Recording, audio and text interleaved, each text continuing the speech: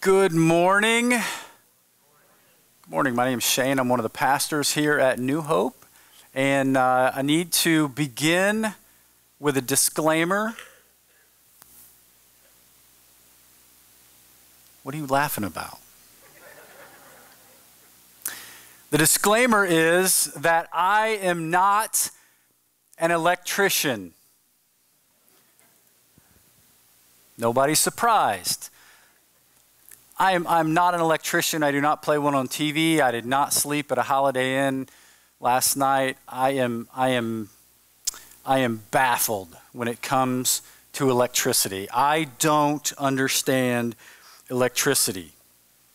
In fact, um, if, if, you, if you've been around long enough, you've probably heard a few stories about situations and experiences between electricity and myself. You, you maybe have heard a few stories of maybe some things that probably shouldn't have happened that I've been involved in when it comes to electricity. Um, I don't know what it is. It's like it's like oil and water. I, I just um, I can't figure it out. I don't understand it. I don't know. I'm limited in what I know about electricity. Here's what I know. I know when you flip the switch, usually it's up. Sometimes it's not. You know, usually you flip the switch up, and when you do, lights appear, right?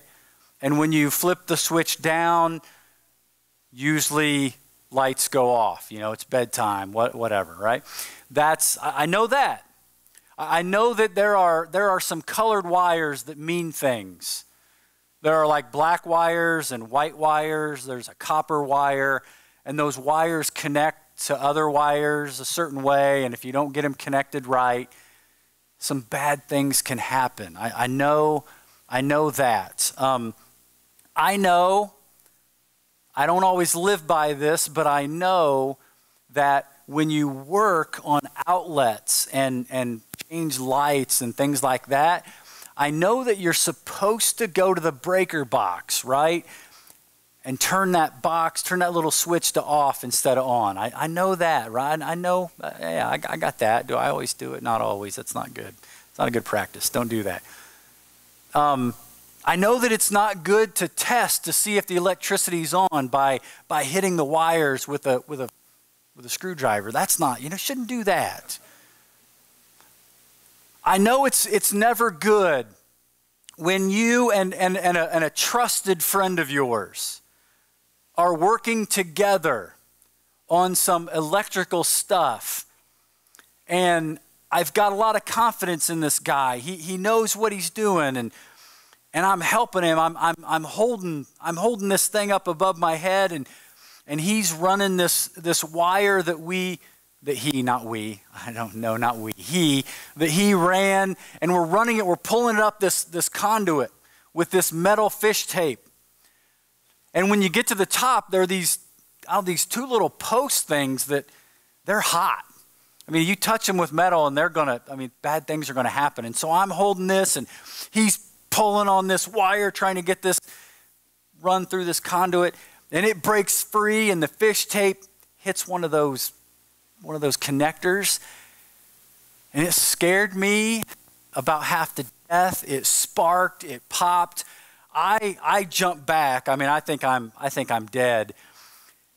And i happened to be standing right beside this window about about yay big.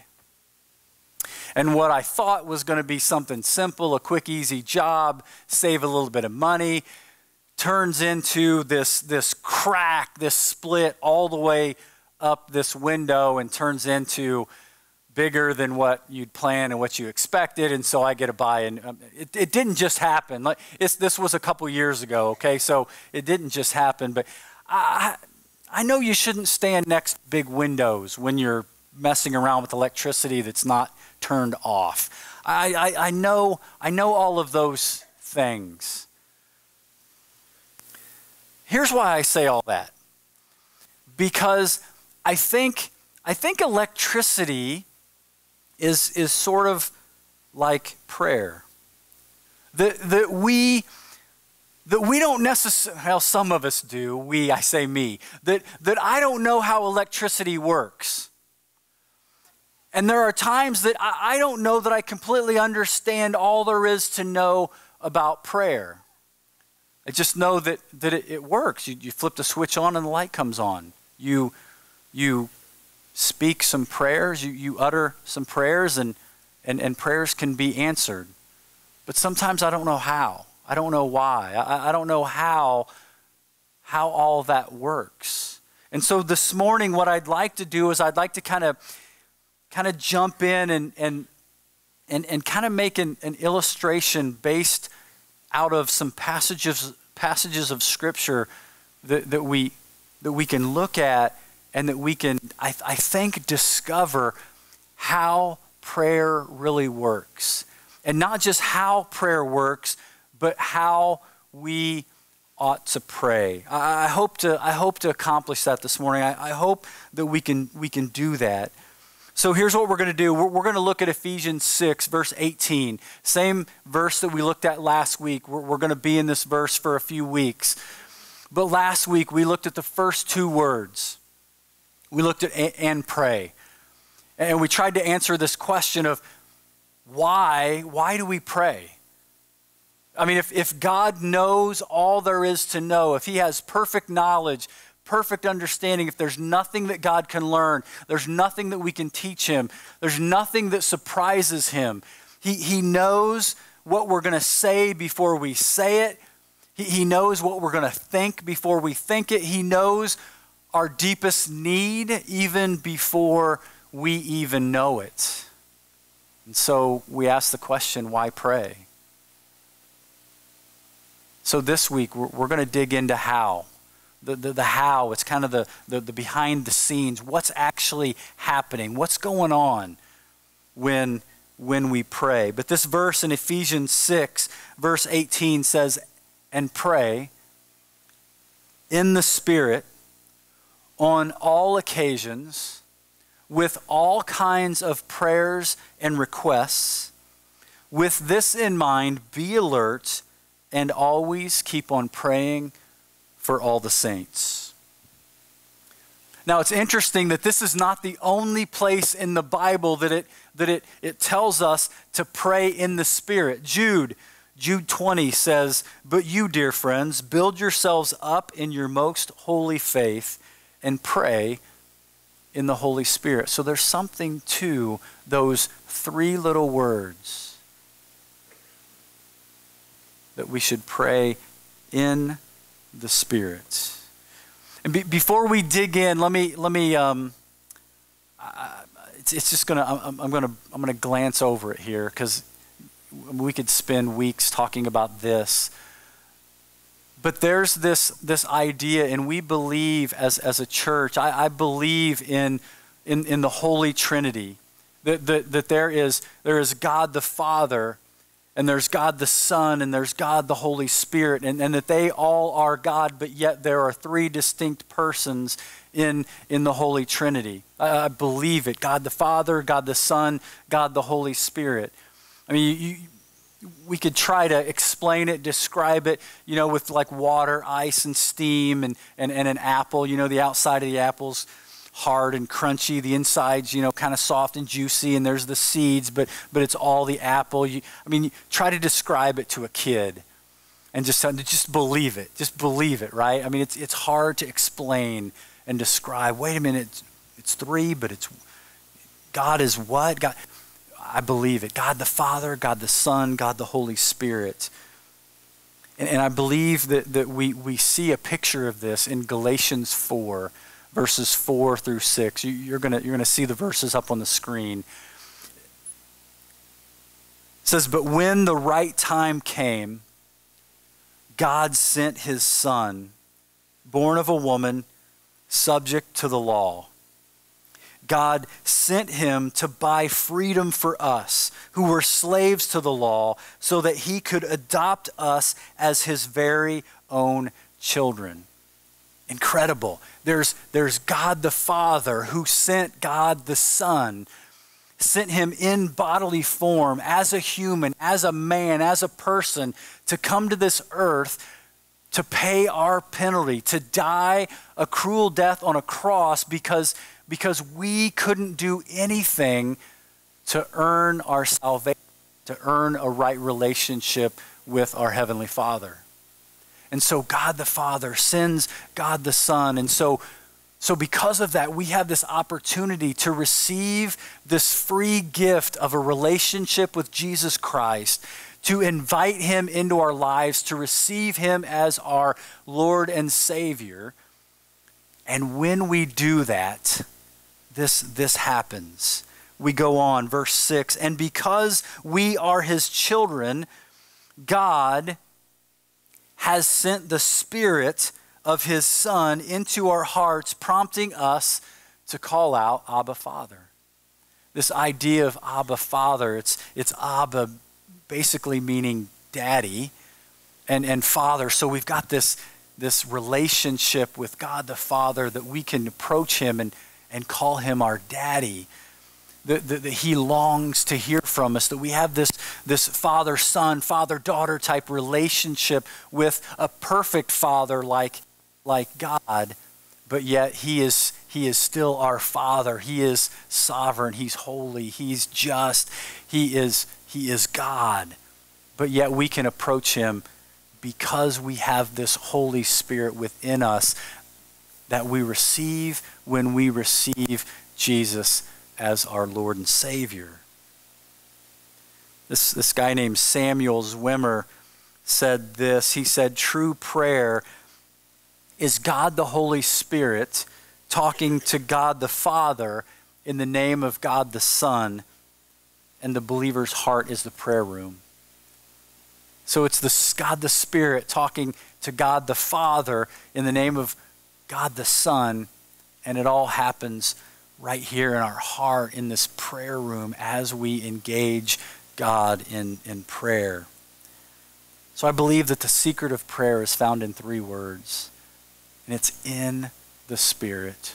It's the secret of prayer we find when we pray in the Spirit. So how does this how does this work? What's happening behind the scenes? Here's how it here's how it begins. It begins with us and our desire to have an audience with God. It begins with us and this desire to be able to for lack of better words, to have an appointment with the king. So, so we, we need his, his attention. We want an audience with him because there's something going on in our lives.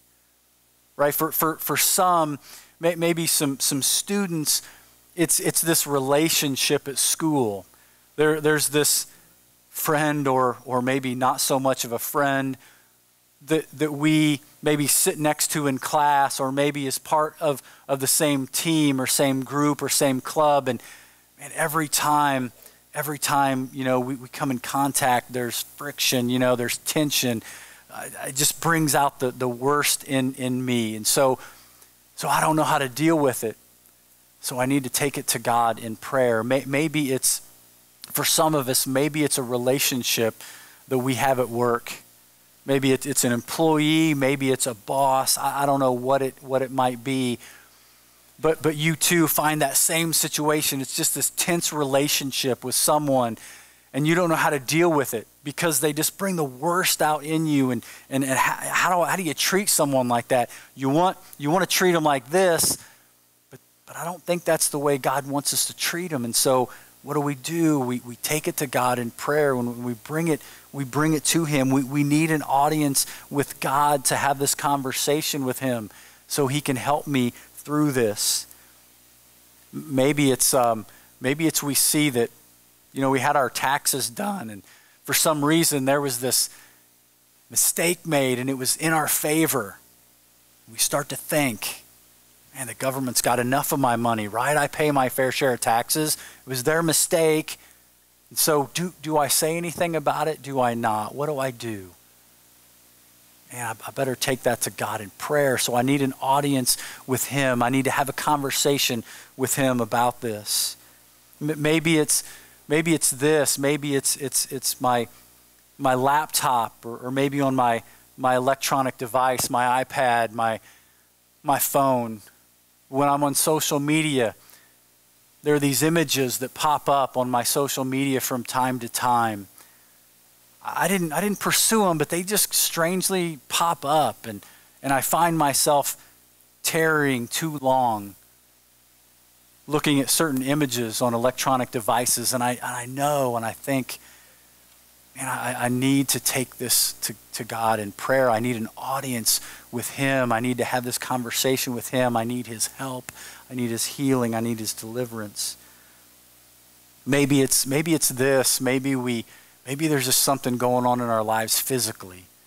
Maybe uh, there are just these spells, these episodes. I'm just, I just don't feel right. There are just things that I, it's, maybe it's the medicine I'm taking, what, whatever it is. There's just something not right physically, and I need, I need God's help. I need Him to intervene, and I need an audience with Him. I need to have a conversation with Him about that. You, you fill in the blank. I don't know what it is for you, but my guess is, is all of us have something there's something on our hearts. There's whether it's physical, spiritual, relational, financial. I don't know what it is, but there's something each of us has that, that we need to take to God. We, we need an audience with Him, and we need to pray it through. We, we need to hear from Him. We need to, to just audibly confess something to Him.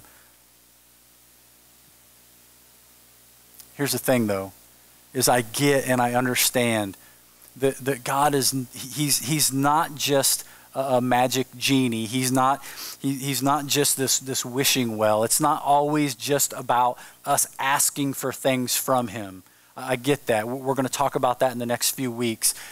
But, but for today, let's, let's just focus on this that there's something, there's a need that we have that we need to bring to God. And so here's the thing when we think about in the Spirit, that we pray in the Spirit, Let's start here. It's because of this. It's because the Spirit makes God accessible to us. Ephesians 2:18 the Spirit makes God accessible to us. So so it's the Holy Spirit that makes the introduction for us. Okay? It's, it's this appointment we need with God, and the Spirit makes the introduction. He, he gets us in the door, for lack of better words. Have, have you, ever, you ever made a phone call and you just want to talk to somebody, but you can't get to somebody. It's, it's recording after recording. You've got to listen to all these advertisements before you even know what button do I hit, right? And so, so we, we, we enter in this, this conversation, and, and, and it says, if, if you have a relationship with Jesus, press three now. Boop, right? If, if, you have, if you are paid up on your tithes, press six now. Boop. If if, if, you, if you love your neighbor as you love yourself, press four. You know, and you just on and on, and it's the next thing after. Praise God, we don't have to do that, right? Because ultimately, where you get to at the end of that phone conversation is, is you hear this. You are number 3,410. Your wait time is approximately 300 hours and 27 minutes. That's, that's not what we experience with God in prayer. Because the Spirit makes God accessible. Because the Spirit is, is that person that you know, that you're glad you know because they've got connections, right? Most of us know someone like that. Like, man, I don't know the answer to this, but I know who to ask. I go ask them because they They've got the connections. They know who to talk to. They've got the relationships, right? That's, that's the Spirit. The Spirit makes God accessible for us in prayer. So the Spirit makes the introduction. And I know God knows me, all right? Just, just humor me for a minute. But the Spirit says, Shane, should meet God. God should meet Shane. Obviously, He knows me. He created me, right? He formed me. He knows everything there is to know about me. But the Spirit makes that connection, He makes that introduction. And so now, we have an audience with God because the Spirit makes him accessible. But, but we begin to struggle Be- because we remember all of our flaws, all of our failures. We remember the things that, that we were supposed to do that we didn't do. And we remember that we remember the things that we, we did do that we weren't supposed to do. And so we start remembering those things. And we tell ourselves, why, why am I here? I, have I've messed up. These, I've, I've done these things. I've, I've said these things. I've not done these things. And I don't deserve to be here. I, I don't deserve to have an audience with, with God the Father. I don't deserve to have his undivided attention. I'm not worthy enough. I'm not good enough. And we question and we doubt and we struggle in, in, in, in that time of prayer with, with God. And so we think that the Spirit has moved on. We think that, that the Holy Spirit did what He does and He makes the connection, He makes the introduction for us, and then He's off doing something else. He's got bigger fish to fry, He's got other things to do. And so, as we're doubting, as we're struggling, as we're questioning, as we're wondering, why am I here? I don't deserve to be here. We're kind of startled because we feel this, this hand on our shoulder. He kind of squeezes tight and he begins to speak softly into our ear. And he says, You deserve to be here. Don't, don't fear. Don't, don't doubt. You, you aren't wasting God's time. He, he actually he had you on his calendar. Let me, let me show you right, right here on the calendar, right, right there. there. There's your name. He, he had you on his calendar. He was expecting your appointment. In, in fact, in fact, the Father has been telling me that He wants to speak with you. He, he's, he's been telling me that, that He's got these incredible things planned for you. He's got amazing things in store for you, and He just wants to talk to you about it. So don't fear. Don't doubt. Don't question why you're here having a conversation with him. But the appointment doesn't end there. It, it doesn't stop there as long as we don't leave, as long as we don't walk out the door. You, see, we, again, we, we, we, think, we think the Spirit has left, but he's, he's right there beside us. And then we ask ourselves, what makes us so special? I mean, there, there are other people out there that probably, probably need it more than I do. There are other people in worse off shape than me, worse conditions than, than me. What makes me so special? And the Spirit again, he, he whispers to us. He says, You know that good friend of yours? You remember? His, his name's Jesus. He, he pulled some strings for you. He, he made some sacrifices on your behalf. In fact, he made some pretty significant sacrifices, in particular, one that I know you're aware of. That Jesus pulled some strings so you could be there in in conversation with your Heavenly Father, He was able to get you some time on God's calendar. But then we, we think, man, I, I just don't deserve it. I just don't deserve to have this time with Him. We question, we doubt, we hesitate, we, we, we're skeptical about it, we have reservations.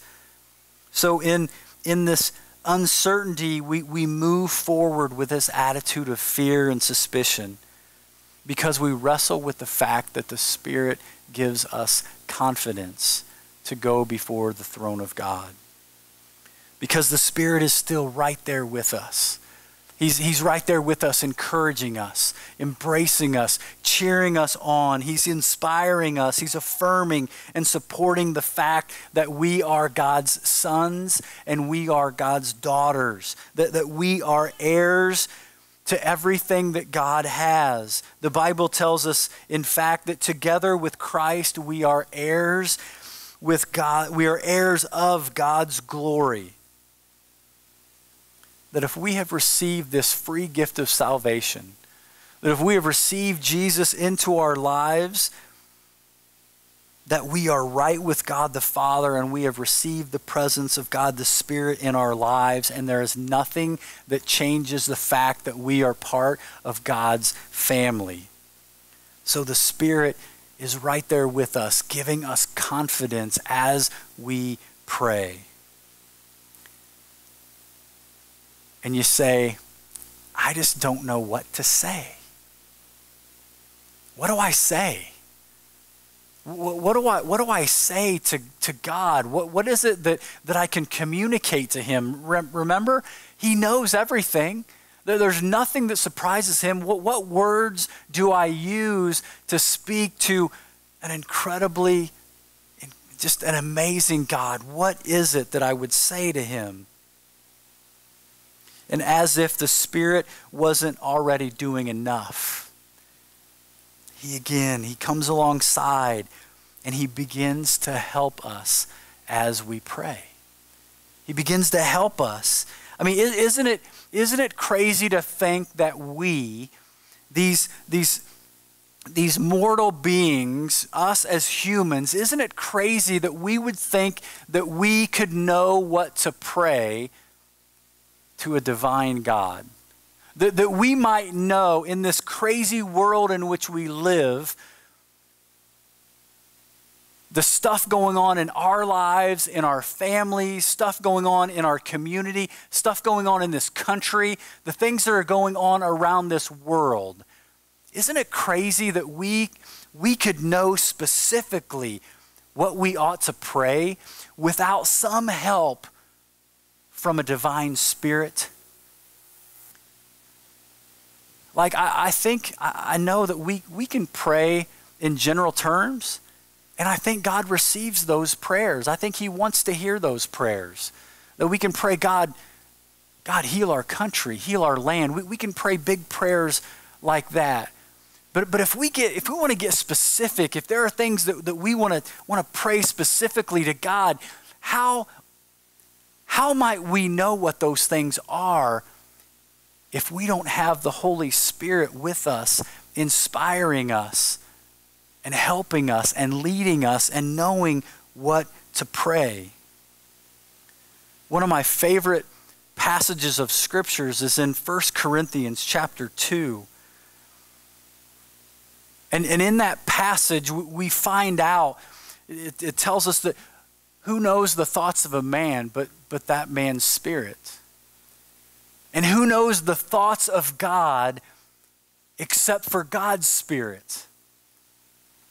And this is the, the exact spirit, the, the Holy Spirit, God the Spirit, that knows the deep things, that searches the, the riches of God, who knows all of that. That's the same Holy Spirit that we have living inside of us, that dwells in us, that lives in our heart. That's the spirit that we have.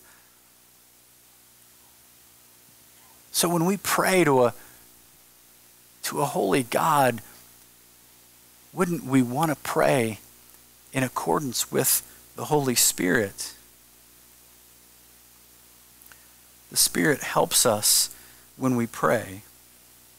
We don't really know what we should pray for, so, where should that help and inspiration come from? Should it come from our best friend? Should it come from our neighbor? Should it come from, from, from anyone else besides the Holy Spirit or, or, or inspired by the Word of God?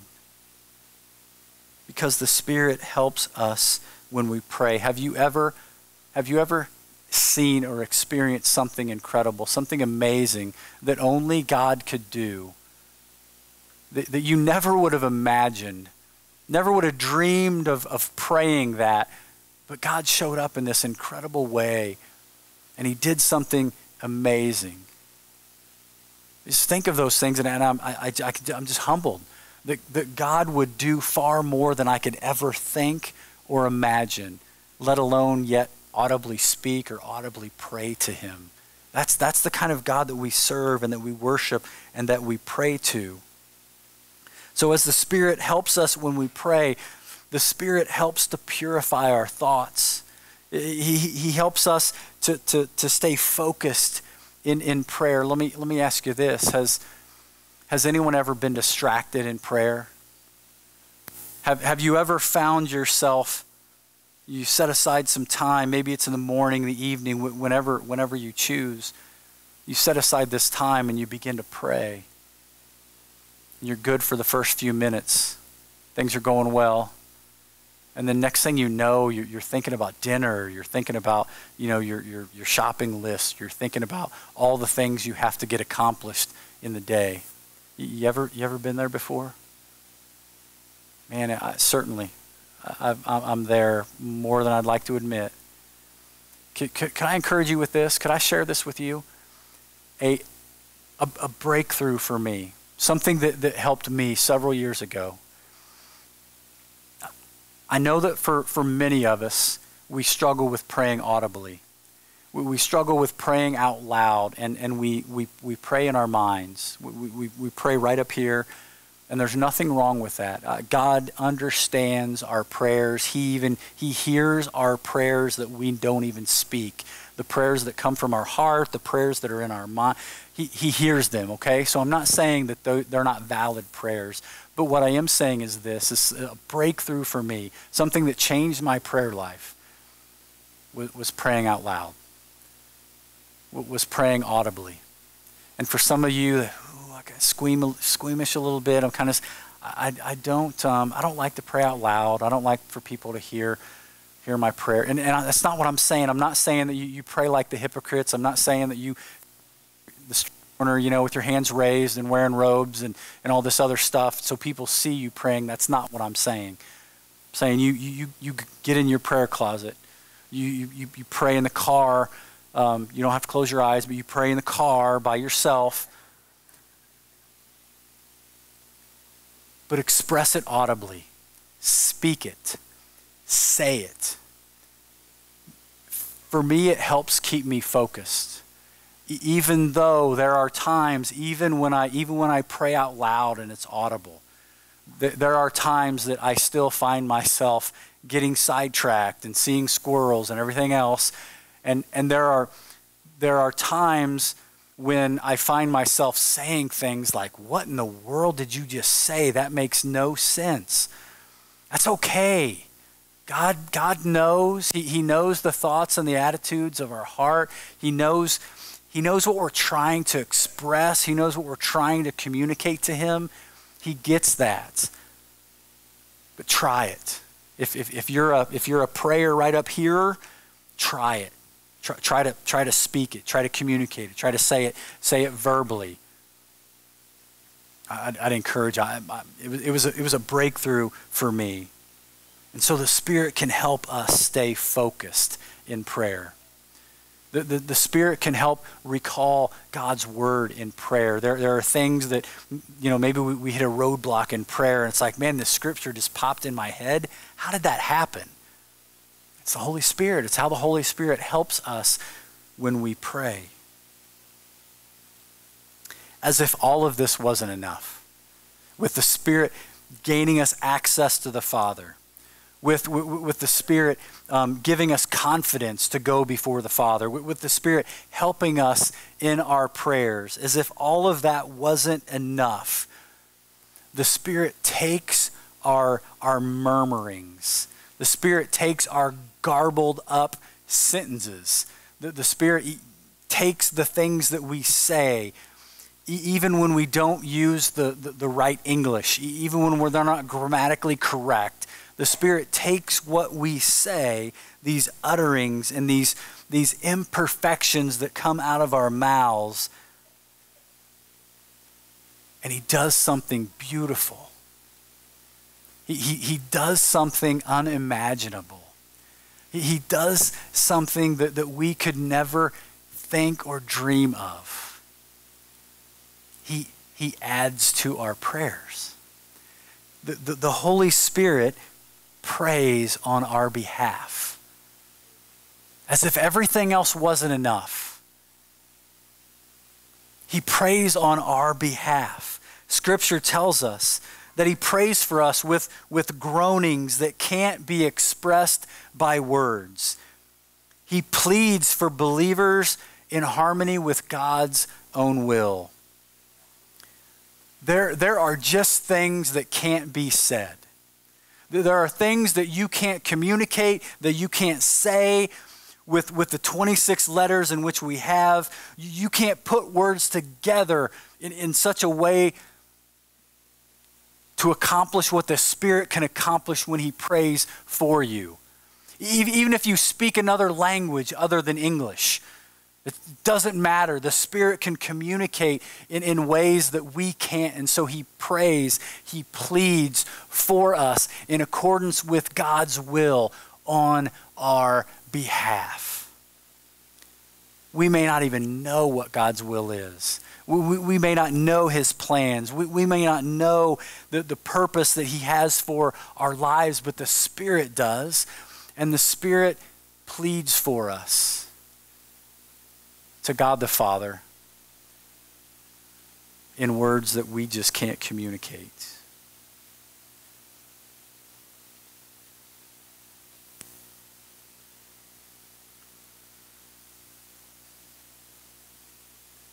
So, how's your prayer life?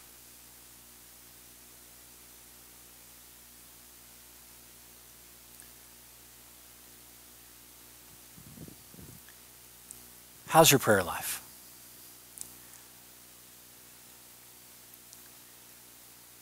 It's, it's so important.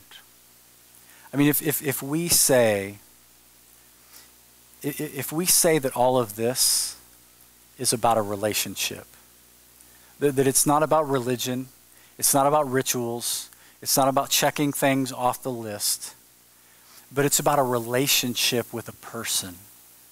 It, it's, it's about a relationship with our Heavenly Father because of what God the Son did and, and the access we have through God the Spirit, if it's about a relationship, how do we grow our relationship?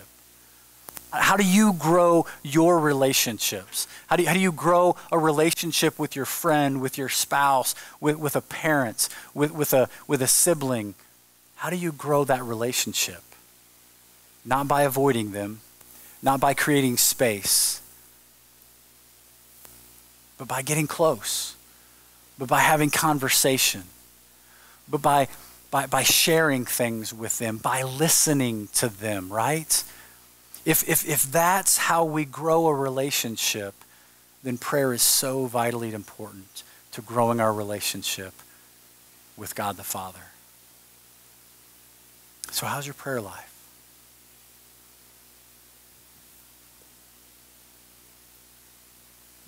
Maybe some of you Maybe, maybe some of you struggle with this area, like me, but sometimes I just rush my prayers because I've got things to do. I've, I've, I've, got, a, I've got a busy calendar, right? Uh, not, not me, just all of us. We've got busy calendars. We've, we've, got, um, we've got family stuff that we've, we've got to do. We've got, we got church events. We've got church activities we've, we've got work, we've, we've got social things that, that we need to get to. And we lead busy lives. So, how's your prayer life? Where does prayer fit in? How does prayer fit in? We're going to talk over the next couple weeks. Like, what, is, what does that look like? What, what, what does prayer sound like? Like, how, how do, not, not how, but, but then how, how do we um, how do we schedule it? Should we schedule it or should prayer just be spontaneous? We're, we're going to talk about those kinds of things. But can I encourage you with this? Make an honest assessment of your prayer life. Be honest with yourself. because, because it only hurts it only hurts you it only hurts you if you're not honest with yourself but how is it and if it's not where you want it to be number one don't beat yourself up i've lived there too much don't don't beat yourself up all right but let me let me challenge you and encourage you with this if your prayer life isn't what you'd like it to be a couple things I'd like you to, I'd like you to rip that communicator card off the bottom of your bulletin. I'd like you to begin filling that out. Everybody, really. But, but if, you've, if your prayer life isn't where you want it to be, can I encourage you to write it down on your communicator card? And you got two options. You probably have more options than this, but this morning I'd like to give you two. The first one is this. This is that I, I'd love to listen. I'd, I'd love, uh, love to, to have a conversation, and I'd love to listen to what's going on in your life and, and to hear about your prayer life. Not to judge you, but to encourage you and maybe to help you with some practical steps to improving your prayer life and getting it to where you want it to be.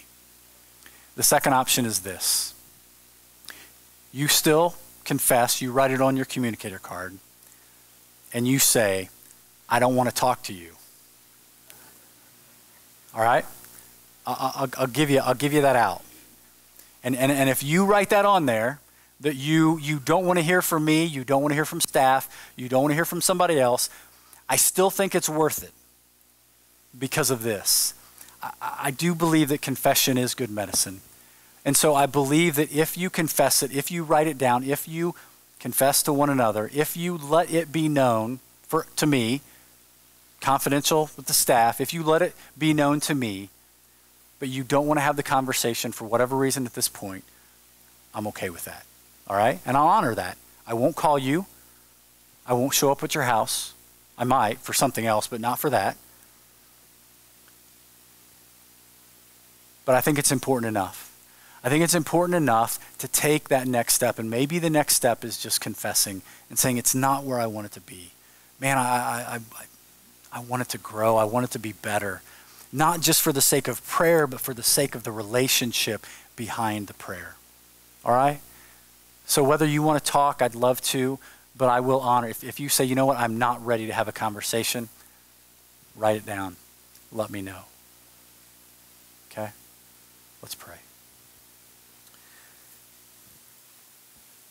God, I, I, I, do confess. I know I just said it, but I, I need to confess it again that I, I, rush to, I rush through prayer too often. That I can be so focused beyond, beyond that prayer time to what needs to get accomplished, what needs to be done. God, would you help teach me? Would you help me to learn, to understand that, that the true work isn't the work actually that's done, but it's the prayer time leading up to it. That, that, that that's the most important, that's the most valuable time that we could have making those, those requests, those, those, those pleadings to you. Help me to know it. Help me to understand it. Help me to be able to live it. God, would, would, you, would you help us with our prayer? Would you help us with our prayer time? Would you help us to know what it should look like? Help us to to, to, to be led by the Spirit in our prayers, to not just rush through them, but to be patient and, and to tarry in that time of prayer and allow the Spirit prompt us, to lead us, to bring people to mind, to bring situations to mind, to bring Scripture to mind, so that we can pray in your Spirit and according to your will. In Jesus' name.